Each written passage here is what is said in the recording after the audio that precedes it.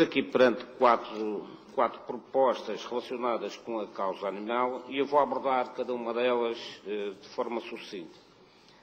Eh, relativamente ao, ao ponto número 32 da Ordem de Trabalhos, que refere-se ao Fundo de Compensação e Garantia de Apoio à Causa Animal, a proposta é justificada com risco para a saúde pública, entre outras coisas, risco para a saúde pública relacionada com o convívio entre espécies, o bem-estar e garantia de saúde dos animais e da comunidade.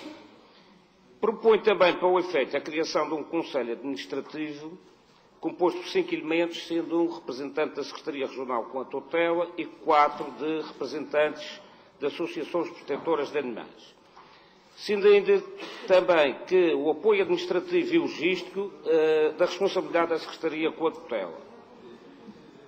É caso para perguntar uh, se a Secretaria, que tem a tutela nesta matéria, tem competência para fazê-lo, para que a criação, isto entronca, se calhar, numa questão que o Sr. Deputado Gil Canha acabou de abordar, relativamente ao, ao provedor, provedor, comissões, isto não será, não será uma tentativa de criar taxas, sendo que uh, está já definido quem é que tem competências nestas matérias.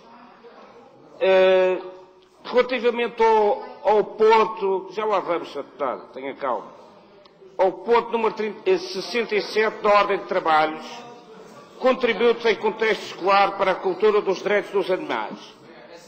A proposta sugere, entre outras coisas, que a educação deve promover a aprendizagem ativa da causa animal. Sugere também a promoção de projetos e ações de formação de professores sobre educação e pedagogias para a causa animal. Ora bem, eu pergunto, os professores não estão já sensibilizados para esta causa? Queremos demitir a família e os pais do papel de educadores? Os autores da proposta pretendem ter um papel executivo na área da educação, exemplo do que já acontece com o camarada Mário Nogueira na República. No que diz respeito ao ponto número 2 da Ordem de Trabalhos, em defesa da causa animal, considerando aquilo que disse atrás, e parece-me que todas estas propostas falam de, da causa animal. Isto seria, porventura, eh, razão suficiente para transformar isto numa proposta única. Estamos a falar de causa animal. Mas também é bom referir que, após a aprovação do Decreto Legislativo Regional que proíbe o abate de animais de companhia, esse sim foi já o grande passo dado na defesa desta causa. Quanto à criação Quanto à criação do provedor do animal, eu quero transmitir aqui algumas notas que penso que é interessante uh, que esta Assembleia tenha conhecimento.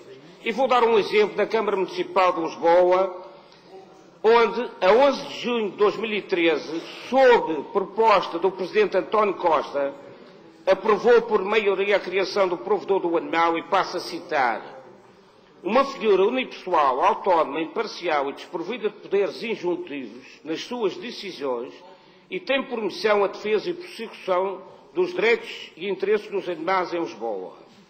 Afirmou também que a figura do provedor tem por missão receber críticas, sugestões e reclamações, agindo em defesa imparcial da comunidade. Uma figura dispensa de formalidades desnecessárias e gratuitidade o provedor do animal agora criado exercerá as suas funções com autonomia face aos órgãos municipais e será desempenhado por cidadão a designar que tenha espírito de missão, conhecimento de causa e reconhecida atuação na defesa e proteção dos animais. Acrescente-se que a criação desta figura foi aprovada por maioria, com 11 votos favoráveis, 7 do PS, 2 do PSD e dois de deputados municipais independentes. E ainda duas abstenções, CDS e PCP. Estranho. Curioso. Curioso. Para o cargo foi nomeada a jurista Marta Rebelo a 16 de junho de 2013. A 13 de agosto do mesmo ano, 57 dias após a sua tomada de posse, a provedora apresentou admissão e, entre outros argumentos, afirmou não sei com franqueza se haverá provedor seguinte. Não abandono animais, mas abandono pessoas e projetos que não são genuínos.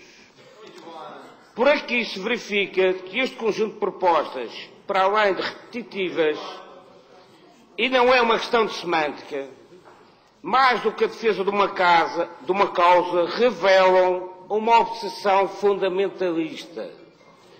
Por este caminho, daqui a nada, estaremos a discutir aqui a proibição do uso da coleira, da trela ou do assaio. Muito obrigado.